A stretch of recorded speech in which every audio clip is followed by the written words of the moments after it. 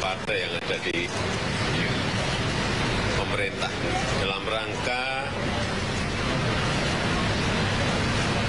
membicarakan eh, hal-hal yang berkaitan dengan komitmen kebangsaan dan juga keberlanjutan pembangunan ke depan. Arahnya ke sana. Ya, Pak Jokowi apakah artinya ini menggabungkan antara koalisi Gerindra PKB dengan KIB gitu? apa?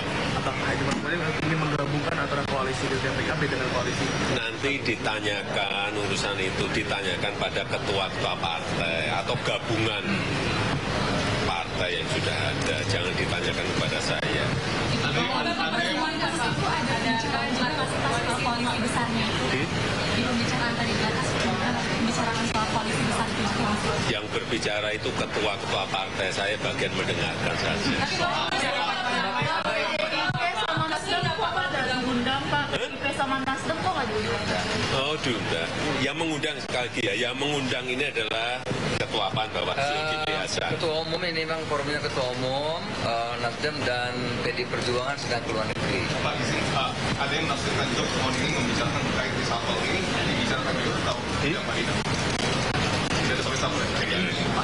Bapak lihat eh, sama KAI cocok nggak sih Pak? Cocok. Berarti besar Pak, berarti boleh jadi koalisi besar? Hah? Saya hanya bilang cocok gitu.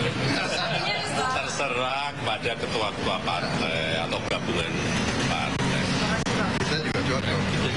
kebaikan negara, untuk kebaikan bangsa, untuk kebaikan rakyat, hal yang berkaitan bisa dimusyawarahkan itu akan akan lebih baik. Ya. Termasuk nama calon presiden sudah di sudah dibahas. Namanya? Nama calon presiden Ya nanti ditanyakan ke ketua-ketua partai.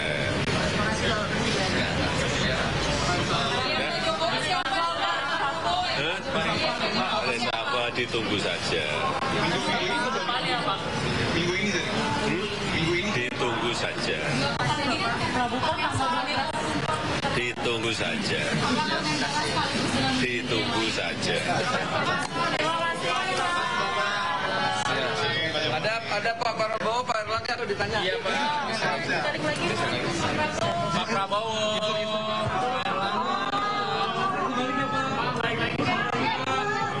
Apa baik tadi? Ya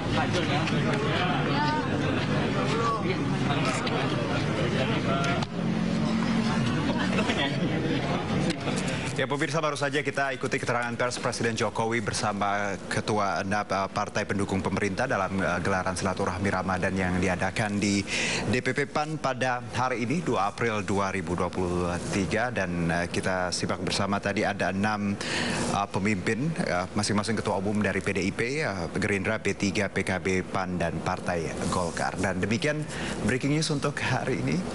Maksud kami live update untuk hari ini. Selamat mengikuti acara kami selanjutnya.